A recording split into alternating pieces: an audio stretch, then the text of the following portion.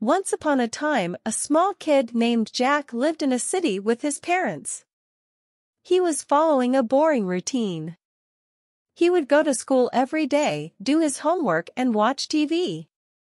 His parents were very busy, as they work from day to night. He mostly spends his days alone in his home. He doesn't have many friends to talk to. Jack loved to meet his grandfather and enjoy natural scenes during his summer vacations.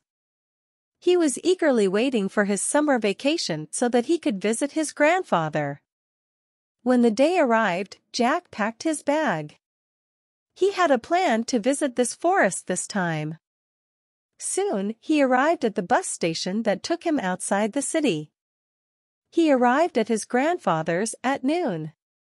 Sun was already setting down. The orange tinge of the setting sun in the clouds with cool wind was very welcoming to Jack and he liked it a lot. He felt alive after a long time.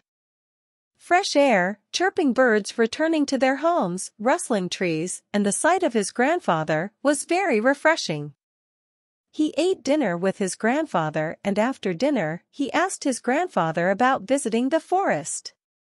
He asked his grandfather to visit the forest tomorrow. His grandfather told him not to go there and told him the strange tale about the forest. It was about the time when I was of your age, there lived an old woman who was very kind and brave. She used to look after the forest animals and birds. She had a strange bird which was very bright and colorful. It was a source of attraction for the villagers and a group of naughty kids. They liked to throw stones at the bird and tease it. One day they went too far and they set a trap for the bird and caught it. The old woman was very upset and she looked for her bird everywhere but was unable to find it. The naughty group denied completely that they ever saw the colorful bird. The poor old woman was very heartbroken and fall ill and one day she suddenly disappeared from her house. The villagers looked for her but everyone was unable to find her. Then, Grandpa asked Jack to promise him that he will never go to forest. But the excitement of Jack was running wild. Maybe it was his good luck or his worst luck he got a chance the next day. Grandpa's friend had fallen sick and he was going to visit his friend, which resulted in several hours of seclusion. Jack was careful in his preparations for his trip to the forest. As soon as his grandpa left to meet his friend, Jack set out to the forest. The wind was light and clouds were swimming in the sky. Soon, Jack was in the forest but the trees were shallow and light was passing through the tree branches to the ground. A strange feeling was running down his spine. It has nothing to do with dense trees and little light but he has the feeling of being seen. Who's there? Jack called and his voice reverberated in the forest.